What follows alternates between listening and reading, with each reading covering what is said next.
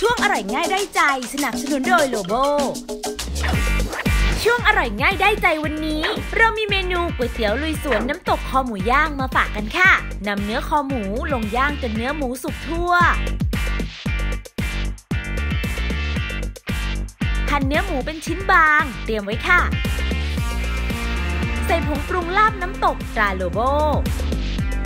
น้ำซุปไก่ ต้นหอมซอย ผักชีฝรั่งซอย และหอมแดงซอยเคล้าผสมให้เข้ากัน ใส่เนื้อหมูย่าง เตรียมไว้ค่ะ วางก๋วยเตี๋ยวเส้นใหญ่ลงบนเขียง เรียงผักกาดหอม ใบผักชีฝรั่ง ใบโหระพา แครอทซอย แตงล้านหั่น ถั่วฝักยาวลวก ตักน้ำตกหมูย่างใส่ ม้วนเป็นท่อนกลมแล้วหั่นเป็นชิ้นตามต้องการจัดใส่ภาชนะสำหรับเสิร์ฟ แต่งหน้าด้วยพริกขี้หนูแห้งทอด เพียงแค่นี้ก็พร้อมรับประทานแล้วค่ะ กับก๋วยเตี๋ยวลุยสวนน้ำตกคอหมูย่าง เพียงแค่มีโลโก้ติดบ้านไว้ ไม่ว่าเมนูไหนก็เป็นไปได้ค่ะ